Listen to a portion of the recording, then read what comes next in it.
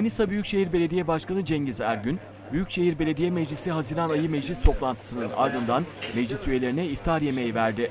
İftar yemeğine ilçe belediye başkanları, Büyükşehir Belediye Meclisi üyeleri, Maski Genel Müdürü Yaşar Coşkun, Büyükşehir Belediyesi Genel Sekreter Yardımcıları Yılmaz Gençoğlu, Mustafa Genç, Maski Genel Müdür Yardımcıları, Teftiş Kurulu Başkanı Ahmet Türkgüler, Büyükşehir Belediyesi ve Maski Genel Müdürlüğü'nde görevli daire başkanları, başkan danışmanları katıldı.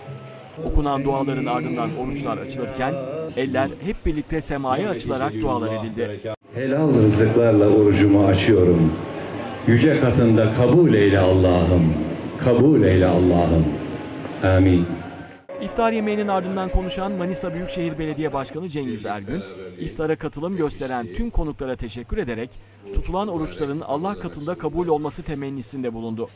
Başkan Ergün, bütün meclis üyelerinin il genelinde yapılan hizmetlerde büyük katkısı olduğunu vurgulayarak meclis üyelerine teşekkür etti. Değerli belediye başkanlarım, meclis üyesi arkadaşlarım, ASKİ Genel Müdürüm, değerli Genel Sekreterim, bütün değerli daire başkanlarım ve burada bulunan hanımefendiler, bütün hazırın öncelikle afiyet olsun diyorum. Ramazan ayı içerisindeyiz. Birlik, beraberliğin pekiştiği bu mübarek Ramazan akşamında biraz önce Büyükşehir Meclisimizin ilimizle ilgili bu ay geçen kararların öncelikle hayırlara vesile olmasını diliyorum. Tabii Ramazan ayı kardeşlik ayı, küskünlüklerin bittiği, dostlukların pekiştiği, birlik beraberliğin kavuştuğu maktul bir ay. Bu ay duaların edildiği ay. Allah nasip ederse bir hafta sonra Kadir gecesini kutlayacağız. Rabbim o geceyi bizlere göstermeyi nasip etsin. İnşallah 13-14 gün sonra da bayramı kutlayacağız. Ailelerimizle, evlatlarımızla, çocuklarımızla, sevdiklerimizle, akrabalarımızla inşallah Rabbim bayram günlerinde göstermeyi bizlere nasip etsin. Tabii Manisa Büyükşehir Belediyesi olarak ve bütün Büyükşehir Meclis üyelerinin yani sizlerin ilimizin genelinde yaptığımız çok hizmette hepinizin katkısı var. Büyükşehir Meclisi'nde aldığımız bütün kararlar genelde yüzde 95, yüzde 97 diyebilirim. Çoğunda oy birliğiyle Manisa'nın yararına yapılan hizmetler için eller kaldırılıyor, kararlar alınıyor. Ben öncelikle bizler seçilmiş bugün bu makamlardayız. Bundan önce bütün hizmet yapmış değerli belediye başkanlarına, meclis üyelerine, kim bir çivi çakmaya vesile olduysa Allah hepsinden razı olsun. Sizlere de özellikle bu noktada bir teşekkür etmek istiyorum. Bütün Manisalılar adına. Tek bir gaye var. Hizmet etmek. Bu hizmet etmek vesilesiyle bir aradayız. O açıdan bütün değerli dostlara, değerli başkanlarıma, değerli meclis üyesi arkadaşlarıma teşekkür ediyorum. Manisa'da şu anda bütün 17 ilçede hiçbir şekilde ayrım gözetmeden her ne kadar küçük sistemler olsa da bu anlayış doğrultusunda hareket ettiğimizin bilinmesini isterim. Kimi yerde geç başlamıştır veya başlayacaktır. Kimi önce olmuştur, daha sonra hizmet gidecektir. Kesinlikle bu noktada böyle doğrultuda ayrım gözetir bir şekilde hizmetin yapıldığı anısına kimse kapılmasın. Evet, şu anda belki yapılan hizmetler veya bitme noktasına gelen hizmetler Ankara güzergahındaki belediyelerde olmuş olabilir. Ama bundan sonraki süreçte de ki bunların örneklemleri artık projeleri birer birer ihaleleri yapılmak suretiyle de İstanbul güzergahındaki ilçe belediyelerimizde de start almaya başladı. Başkan Cengiz Ergün konuşmasında Manisa Büyükşehir Belediyesi'nin ve MASKİ'nin tamamlama noktasına geldiği ve planladığı hizmetlerinde son durumları hakkında bilgiler verdi.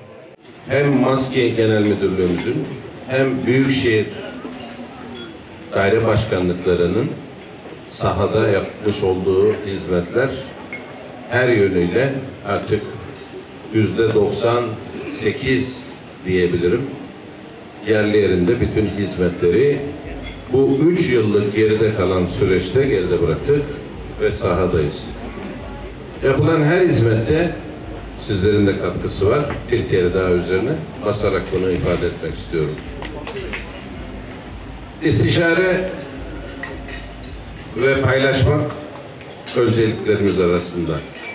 Sahadaki sorunları bilmek, yerinde bilmek ve bize aktarmak değerli başkanlarımın ve meclis üyelerimin özellikle başlıca görevleri arasında.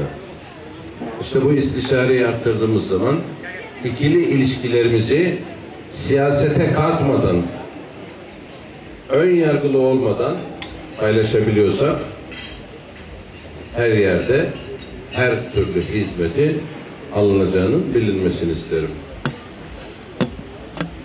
Sonuçta bugün varız, yarın yokuz.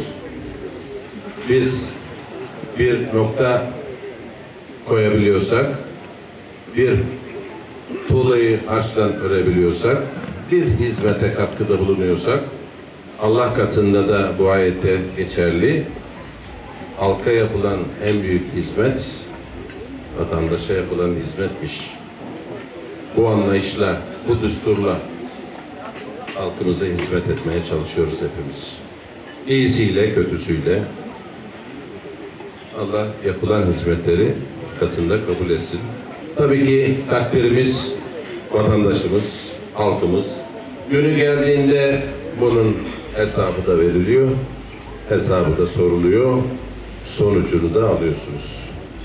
Vatandaş her şeyi en iyisiyle çok güzel bir bakış açısıyla gözlemliyor. Bunun sonucunu da sandığa yansıtıyor. Son günlerde artık tamamlama noktasına yaklaştığımız hatta bitti diyebiliriz. Manisa ile ilgili bayramdan sonra artık Manisa'nın en önemli yatırımlarından bir tanesi olan Uzunburun katı atık tesislerinin inşallah bayram sonrası Temmuz ayı içerisinde açılışını hedefledik. Yönünü daha netleştirmedik. Ancak artık her sene ulusal televizyonlara reklam olduğumuz, her sene yangınların çıktığı noktada ünlü olduğumuz bir ilimizin 35-40 senedir kanayan yarası Turgut Özal çöplüğü artık tamamen şu anda mevcut iyileştirmeleri yapılarak enerji üretir noktaya geldi. Ve tahmin ediyorum bu ayın sonuna doğru veya ay başında da orada düğmeye basıyoruz, enerji üretmeye başlıyoruz. Bir yandan yeni tesisleri açarken bir yandan eski yanan çöplüğünde tamamen gaz alımlarıyla artık enerji üretimi başlıyor. Bunun için Manisa için şu ana kadar yapılan tamı tamına 113 milyon TL'lik bir yatırımla hayata inşallah mevcut katı atık, uzun burun katı atık tesislerini inşallah hayata geçireceğiz.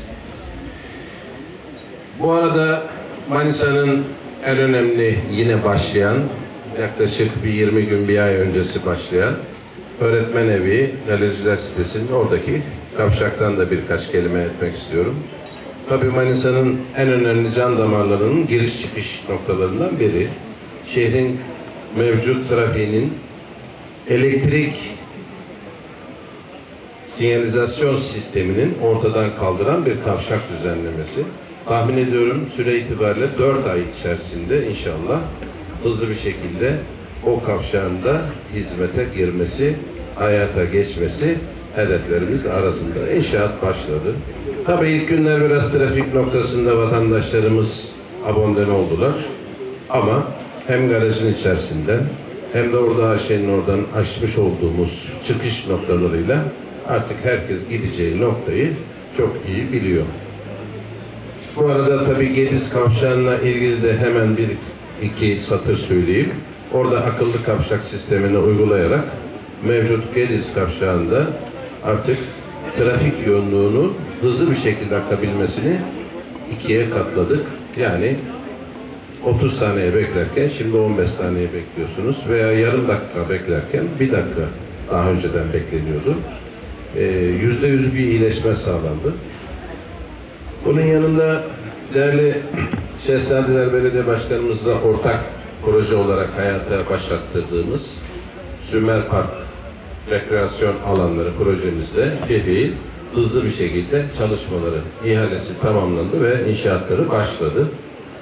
İnşallah en kısa süre içerisinde de Manisa'ya yani çok güzel bir tesisi değerli Ömer Faruk Çelik Başkanı'nla beraber inşallah hep beraber sizlerin de katılımıyla güzel bir açılışta Manisalı insanlarımıza, evlatlarımıza, gençlerimize kazandırma imkanını kavuşacağız. Yine Manisa'nın olmazsa olmazlarından en önemli trafik sorunu biliyorsunuz. Şehrin içerisinde sabah ve akşamüstü pik saatlerde muazzam bir servis araç kilitlenmesine sebebiyet veren trafik sıkışıklığı var. Manisa'nın içerisinde belli güzergahlarda, ana arterlerde bu arterler hedef olarak belirlendi. Elektrikli otobüs uygulamasıyla ilgili çalışmalarımız artık son hat safhadayız. Son noktadayız.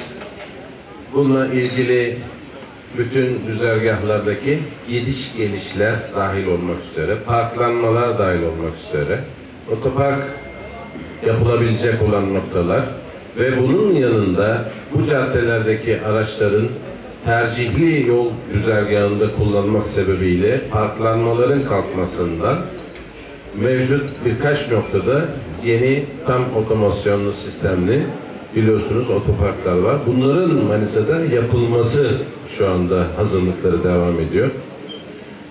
2018'in başlarında inşallah elektrikli otobüsleri şehrin içerisinden OSB'ye mevcut sabah bu pik saatlerde dediğimiz saatlerde ve diğer gün içerisinde şehrin içerisinde yine dolaşmak suretiyle bu otobüslerimizi çevreci otobüsleri inşallah Manisa'da hayata sokma noktasındayız.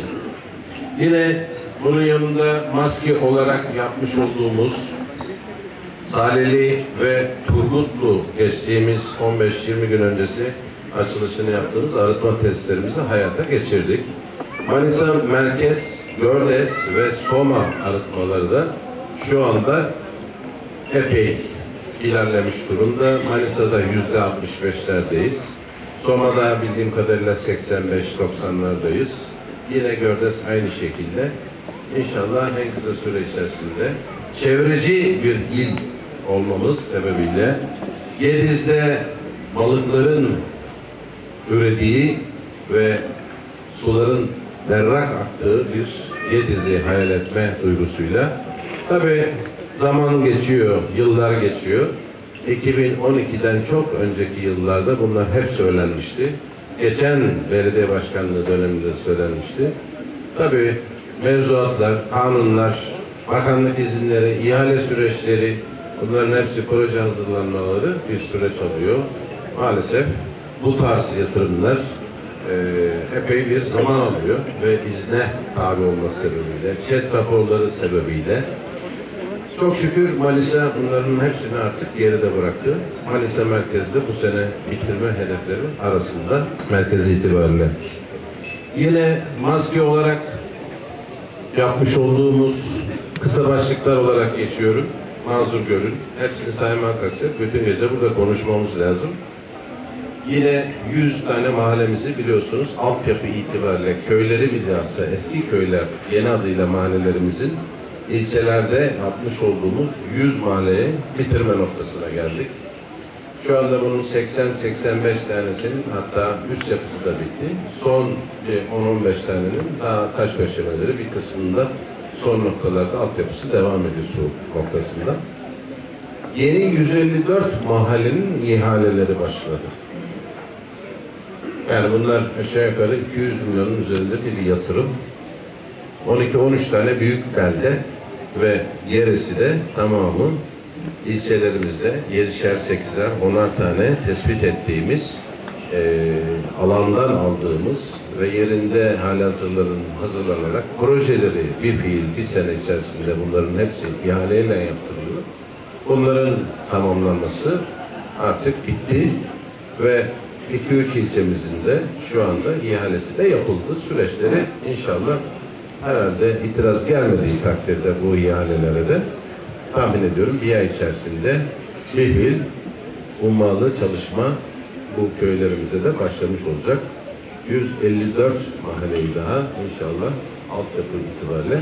Tabii sadece altyapı mı? Altyapısı yapılan bu mahallelerimizin üst yapılarını da e, tamamlayarak çıkıyoruz. Tabii oralarda bu yatırımlar yapıldığında foseptik noktasında bazı sıkıntılarımız da yaşıyoruz. Artık detaylara girmeyeyim. Yine biraz önce Büyükşehir Meclisi'nde de ifade ettiğim gibi değerli başkanlarımıza da kitapçık halinde verdik. Geçtiğimiz iki yıl içerisinde yapmış olduğumuz asfalt çalışmalarıyla ilgili bilgileri sizlerle paylaştım. Bu sene de inşallah ihalesine itiraz herhalde şu anda söz konusu mu bilemiyorum son durumunu. Ee, ancak bir iki ay içerisinde yine 2017 yazı itibariyle Manisa'da 100 milyon TL'ye yakın yeni asfaltı inşallah yine hizmet olarak 17 ilçemizde belirlediğimiz yol güzergahlarında önceliğe göre tabii bunlar hazırlanıyor. Yolun durumuna göre hazırlanıyor. Gönül istiyor hepsinin tamamını bir anda yapmak ama hem para gücü hem de imkan meselesi. Açıdan buradan bunun da müjdesini vermiş olayım bir kere daha. Tabii bu geceler özel geceler. Birlikte olmak gerçekten çok güzel. Rabbim hepimize bundan sonraki süreçte sağlık sıhhat versin. Nice Ramazanları inşallah bizlere nasip etsin. Ve hep beraber bu sürede geride kalan süremiz içerisinde Büyükşehir Meclisi'nde Manisa için hep beraber el ele güzel hizmetlere imza atalım. Arkamızdan da şöyle Allah razı olsun lafını duyabiliyorsak bizim için en büyük mutluluk da bu. O açıdan bu akşam bütün değerli dostlara, burada bulunan hazırına, bütün başkanlarıma ben bir kere daha katılımlarından dolayı çok teşekkür ediyorum. Allah bizleri yolumuzdan ayırmasın. Güzel hizmetler yapmayı nasip etsin. Hepinize teşekkür ediyorum. Afiyet olsun. Hayırlı akşamlar. Konuşmanın ardından Başkan Cengiz Ergün iftar yemeğine katılanlarla tek tek tokalaştı.